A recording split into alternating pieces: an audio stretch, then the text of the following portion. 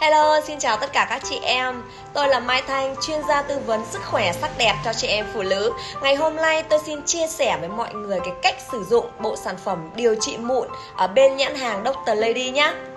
Đầu tiên thì chúng ta sử dụng đó là lớp nước tẩy trang nhé.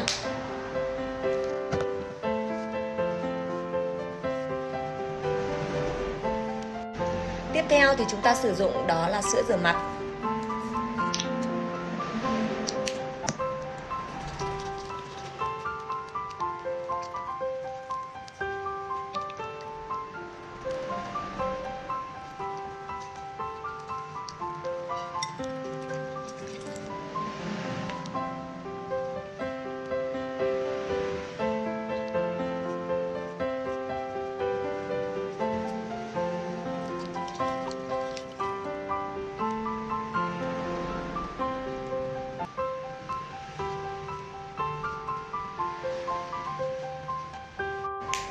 Bước tiếp theo chúng ta sử dụng đó là nước hoa hồng nhé.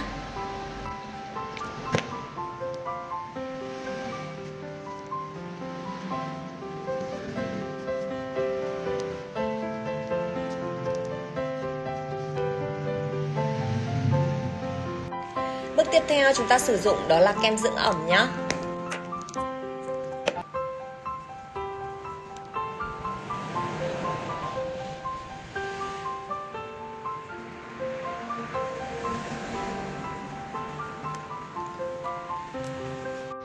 Tiếp theo chúng ta sử dụng đó là serum điều trị mụn nhé.